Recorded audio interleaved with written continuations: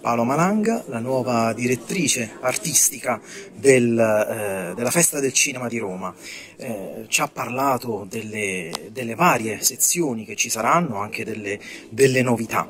Eh, cosa si sentirebbe di, di, dire al pubblico a casa, soprattutto quello delle, eh, delle piattaforme streaming, perché c'è bisogno, in un certo qual modo, di riportare il eh, cinema a essere cinema e quindi di riportare il pubblico al cinema, in sala, esatto. al buio. Come si fa?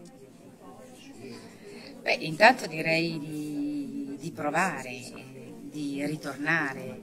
Um, è un'esperienza um, che, non, che, non, ti può dare eh, nemmeno il più bel salotto di casa tua, neanche il più grande schermo, eh, computer o televisivo.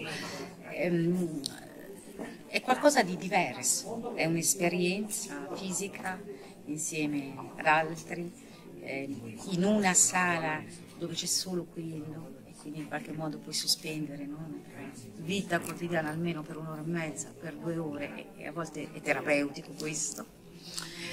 Eh, questi sono tutti dei, dei motivi per eh, reintrodurre dopo un periodo di due anni in cui siamo stati costretti a farne a meno, per introdurre nella nostra vita eh, l'esperienza della sala, eh, che io penso, mh, mm, penso aggiunga qualche cosa che non si può raggiungere eh, diversamente.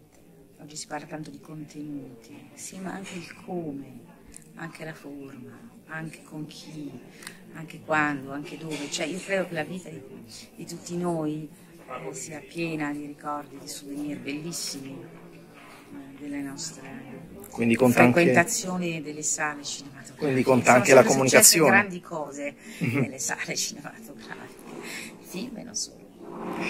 Qual è un suo piccolo uh, sogno o su un suo buon proposito per questa festa del cinema, per questo suo esordio?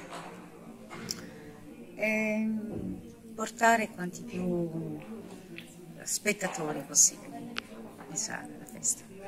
Grazie. Grazie.